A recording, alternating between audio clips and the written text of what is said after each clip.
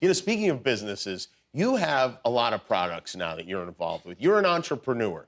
You find things you're interested in, you create things that you think you might like, and some of them seem to have a real connection to smoking. For instance, uh, your breakfast cereals, Snoop cereal.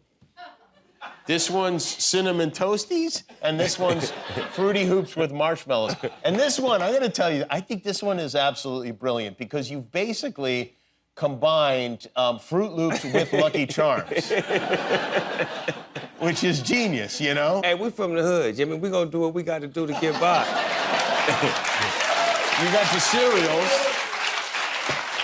You got ice cream. You got Dr. Bombay birthday party, which is kind of perfect for that's, tonight. That's kind of good. I want some of that, Jimmy. you can have. You're more than welcome to have some. I think I have spoons here also. There's there's the birthday party, and we have Dr. Oh, two birthday parties. Yeah.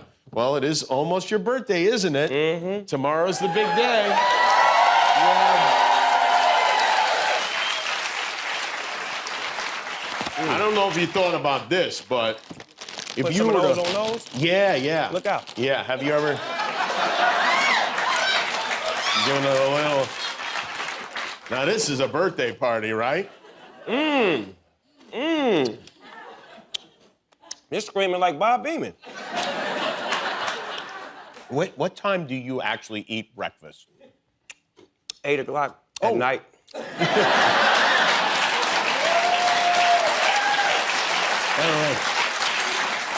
I could I could easily polish this whole thing in this On whole the real though, box. Jimmy, off. these is good, right? Because if they was nasty, you couldn't be up here just keep eating them like that. This is my weakness. This is my kryptonite right here. But this, I like this too because um, this is either for this maze is for kids or to measure how stoned you are.